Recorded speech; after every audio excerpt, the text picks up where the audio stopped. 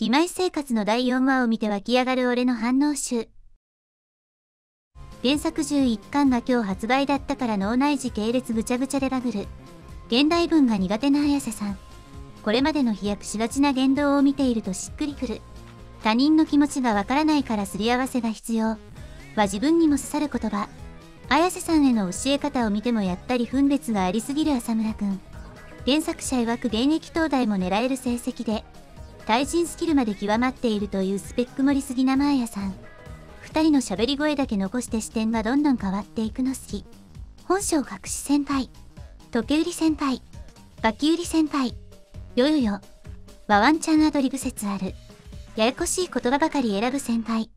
後輩くんだけが私の全てを知ってるんだよ。新しい女ができたから私を捨てるのね。でも原作だと、恋人同士で夜通し激しく楽しんじゃった翌日ぐらい、足腰がガクガクしてるよ。とか言ってるからまだマイルドな方。音楽のアンテナも高い先輩。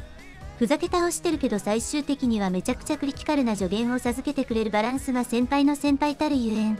これもローファイヒップホップの MV じゃん。MV が先の視点へのトランジションになるのシャレすぎ。含みのある。仲良しなんだ。本音を隠して言葉にしない人の気持ちがわからない。と言っていた綾瀬さんが感情に振り回されまくるのは、人間。という感じで好きなんだ。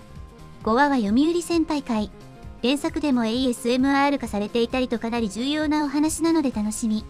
ちなみに義妹生活の YouTube チャンネルに綾瀬さんと一緒に勉強できるローファイヒップホップの作業用 BGM があるよ。